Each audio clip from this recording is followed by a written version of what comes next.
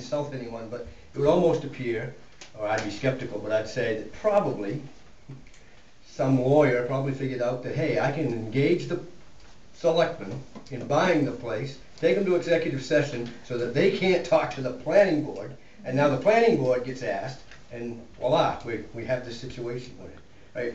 That's just the politics of it. I'd like to, you know, second everybody else that's had the same concerns, right? The traffic is a big deal, a very big deal if it's two hundred and fifty people, mm-hmm. right? That, that's a lot of traffic. I've got a million questions from my legislators to find out who pays for all this. You folks should also have asked, you know, how many ambulance calls are you expecting at this methadone clinic? How many Security. police calls do we expecting at this thing? There's a lot that goes on with these. And for you to sit there and say, well, you know, we didn't have any questions that needed to come to the town, isn't really fair because you all read the paper. And every time there's a methadone clinic, it's everywhere in the paper. Everybody has a very strong opinion, and you all have the obligation to make sure that this doesn't go through without thorough discussion. And right now, it smells like, it sounds like, if I understand correctly, you, you issued, you signed the agreement, is that correct? We, we, we. we- You we signed the agreement knowing what it was, because you felt, I assume, that, you know, it fits in the standard, and that the planning board should do due diligence to make sure that this thing fits within our rules. And it sounds like they may have done that not knowing the, the, the, the facts.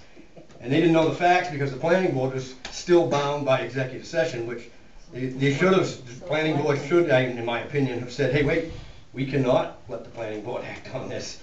If we know information that we know has to get to them before they can make a thorough discussion. So, I mean, in my opinion, this is, you know, I don't know the law, but it certainly seems completely illegal for this thing to go sailing through because of, you know, what I would say, one possibility is that some lawyer realized that if I get these guys in this corner, they can't talk to these guys, these guys won't know what the hell I'm doing, and therefore they'll approve it. So I respectfully request that, you know, some moratorium be put on so that the town is all provided some insight as to what avenues do we have.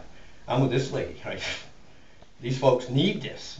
I don't want it in my backyard. That's, that's my personal opinion.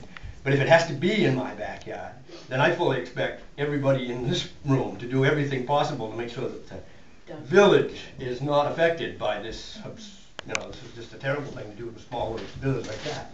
And two hundred and fifty-six cars, with a lot of people that have- have questionable ability to drive, are gonna be going down onto Route ninety. If I have my way, you'll never see a car come out of that place again toward Main Street. Right, that's just obscene to think that all of that traffic would come up to Main Street. So I just respectfully ask that you do everything you can to find out what session you can create, so at least the moratorium's created and this group can really be offered the insights, so that at least you understand all of our concerns, so that we can, you know, my opinion, kill it, but if not, make sure that the most suitable, thank you.